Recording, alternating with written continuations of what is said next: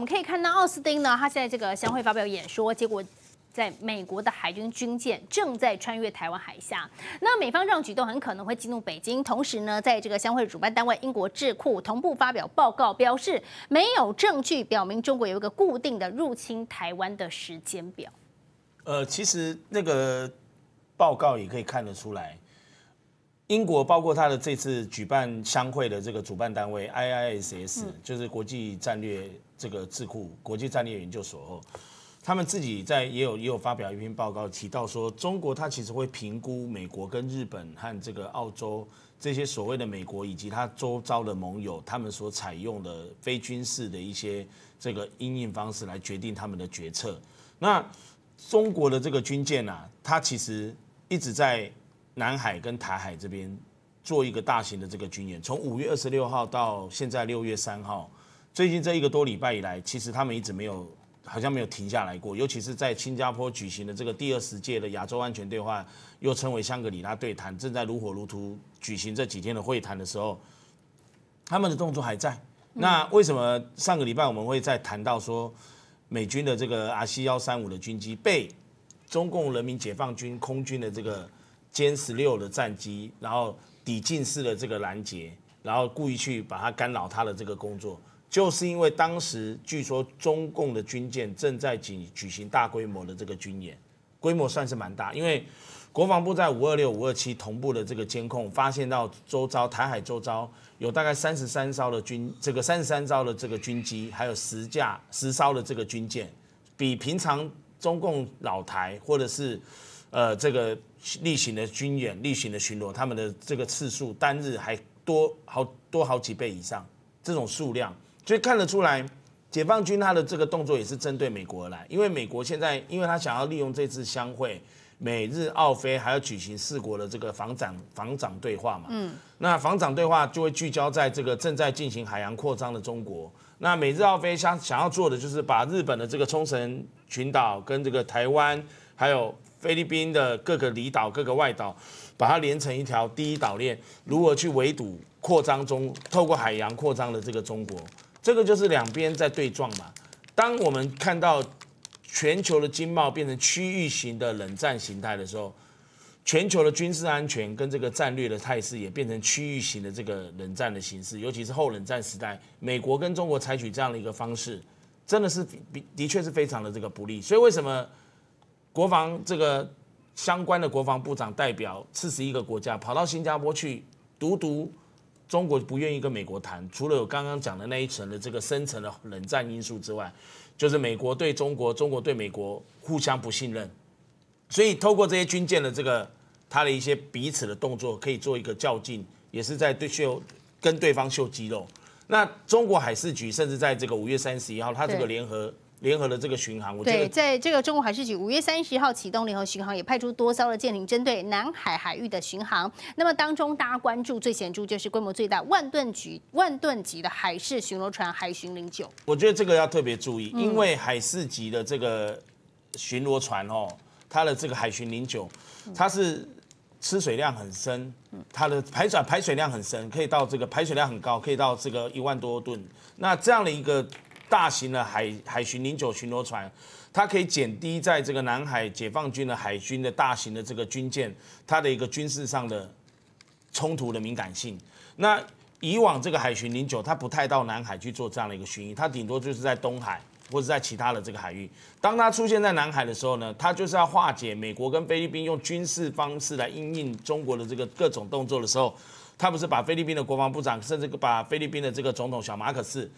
都告诉他们说，哎，我们又会加强你们的这个武装啦，然后而且美菲之前肩并肩的这个联合军演结束之后，他们又在这个菲国的吕宋岛的北端试射了这个飞弹跟这个多管火箭系统，还有包括海马式火箭。那当中国用这个海巡零九这样的一个不是这种第一线的海军，而是第二线的，等于是第二海军的方式去应应你的时候，用下士对上士，他除了想要降低在南海的军事冲突的紧张之外，他现在试探说美国你会怎么做？因为现在美日澳菲或者是美国这个 AUKUS 跟这个澳洲和英国，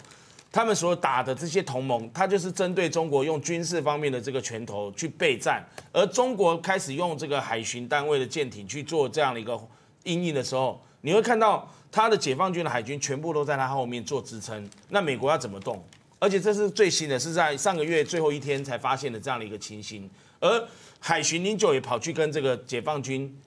他的南海海域做一个重叠性的巡弋。我相信，包括海巡零九在内，一定是跟这个解放军的几个舰艇在一起做联合军演。还有还有，刚刚我漏掉了上礼拜这个他们的这个两栖登陆舰零七幺零七幺的这个两栖登陆舰也出现在我们台湾东部海域，从花东最近的地方离花莲甚至很近。然后他从花东海域要往这个日本与那国岛的这个海域去。零七幺以往在这个麦卡锡跟呃佩洛西哦这个事件发生的时候，麦卡锡跟蔡英文在美国见面，佩洛西来台湾，本来零七幺都没出现过，因为那是一艘两栖登陆、两栖攻击登陆舰，它的排水量是两万五千吨，它可以在船上可以载九百名中国大陆的海军陆战队的两个营的兵力，那也可以载四艘七二六的这个气垫登陆艇。那还可以载它的主战坦克，还可以载它的其他的这个武装。所以，当零七幺也出现在台湾东部海域的时候，当然解放军那边的军事专家传回来讯息是说，哎呀，要让台湾四面八方环海都可以变成一种登陆的场域。但是很抱歉要告诉他们，东部很难成为登登陆海域。但它那个就就会有一个军事的象征性的意义，就告诉你说，海巡零九我出现在南海，零七幺我出现在出现在西太平洋、台湾东部的海域，甚至往东往东边往东海的方向走。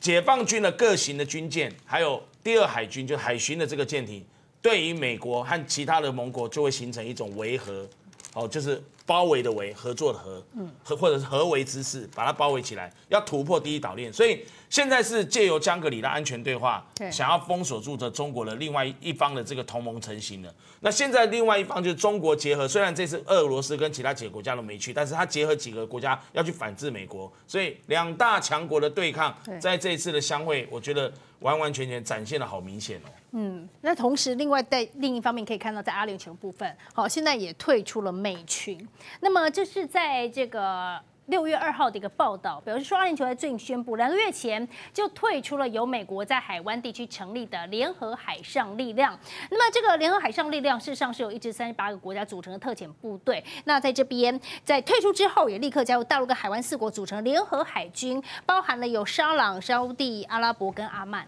金明哥，现在中国它进入中东的力量，已经让这个美国退出中东之后呢，美国没办法挡了。所以，沙地阿拉伯跟这个。还有包括伊朗，对，然后跟这个阿曼，他们本来就有一个这个四国的联合海军的一个行动，等于现在再加入第五个国家阿联酋，就是我们一般在讲的阿拉伯联合大公国。着眼于你看阿拉伯联合大公国以往跟这个阿沙特阿拉伯是不太对盘的，那今天中国一方面可以化解，之前可以化解，你看到这个沙特阿拉伯跟他周边的这个国家的敌对，尤其是你看伊朗。伊朗可以跟沙地阿拉伯同时在这个四国的组成的联合海军做这样的一个联合海上力量的它的一个这个组织跟巡演，